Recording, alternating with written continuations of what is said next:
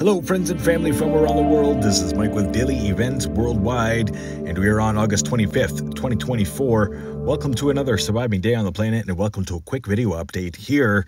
As I did just put out an earthquake warning video, and just before the premiere, had a sizable earthquake strike the Tonga region. A 6.9 magnitude earthquake hitting Tonga. The Tofua, Tofua volcano in the Tonga region, which has been active since April 6.9, 100 kilometer depth, Pangai, Tonga, followed by a 6.1 and as well a 5.3. And this is after 627 kilometer depth earthquake occurred yesterday in this region.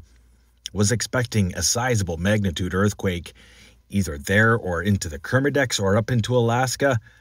And here it is 6.9 earthquake at the Tofua volcano.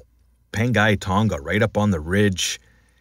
That was the sequence of the earthquakes, three of them so far, and no aftershocks to follow. So, still something brewing, I think, at the Tofua volcano.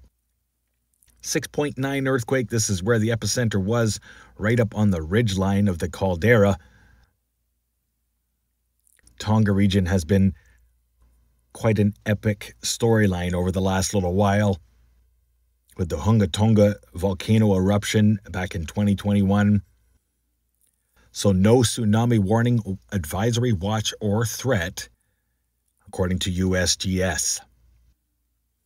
Looking at the national buoys around the world, no buoys going into event mode in the Southwest Pacific, but there is one going off here in the Gulf of Alaska, kind of a strange one, and just started around the same time